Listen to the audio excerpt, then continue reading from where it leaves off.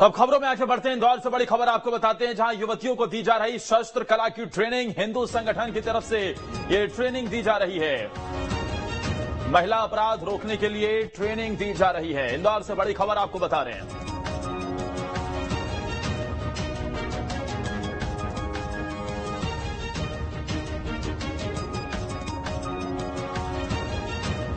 महिला अपराध रोकने के लिए ये ट्रेनिंग दी जा रही है। युवतियों को शस्त्र कला की ट्रेनिंग हिंदू संगठन की तरफ़ से दी जा रही है। ये बड़ी खबर इंदौर से आपको बता रहे हैं, जहाँ महिला अपराध को रोकने के लिए शस्त्र कला की ट्रेनिंग दी जा रही है।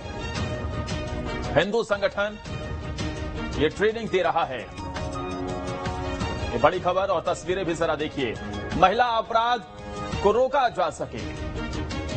सेल्फ डिफेंस के तौर पर।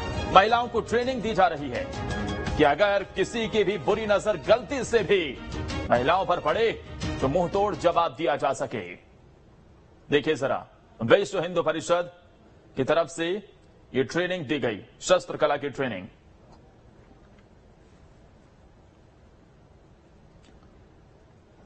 आगे बढ़ते, कटनी से बड़ी खबर बताते